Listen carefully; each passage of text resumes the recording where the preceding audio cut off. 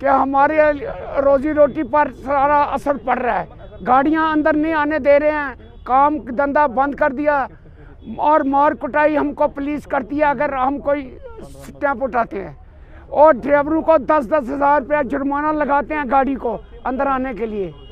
और ये हमारी गुजारिश है या हमको इधर एडजस्ट करे नहीं तो हमको दूसरी जगह जगह दे दे।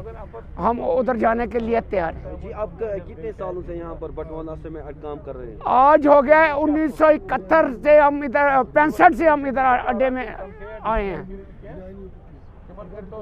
बूढ़े हो गए आज इधर ही अड्डे में। अब जाएँगे कहाँ? अब कहाँ लगेंगे अब?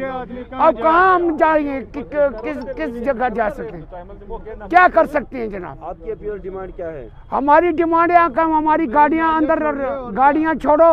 हम रिपेयरिंग करें जो रिपेयरिंग गाड़ियाँ छोड़िए जो जो ट्रांसपोर्ट की गाड़ियाँ मत छोड़िए। हाँ। रिपेयरिंग की गाड़ियाँ छोड़ दीजिए। इनके रोज़गार जुड़े हैं। इनके माल मत्ते सारे लगे हैं तो फिर उसके बाद सारा जी सारा इस पे असर पड़ता है जी। बैंकों का लोन है जनाब इतना कहने की बात नहीं। वो कहाँ से लाएँगे सीसी कहाँ से लाएँगे हम? सारे लोग जितने थे जवान थे सारे बूढ़े हो गए ने। सारा फंड के इंतज़ार में आधे से ज़्यादा दुकानदार मार गए कहाँ कहाँ हाँ जाएँगे? आपकी क्या डिमांड और अपील है? अरे डिमांड क्या है जी? हमारे को जो वर्कशॉप की गाड़ियाँ हैं जो रिपेयरिंग की गाड़ियाँ आ रही हैं उनको रही हैं, छोड़ो। माल आ रही हैं ले जा रही हैं उनको जा छोड़ दीजिए। बस इतनी मेहरबानी करिए हमारे ऊपर। या तो हमारे दुकानों को पैसा दीजिए। जो बटमालू अड्डा यहाँ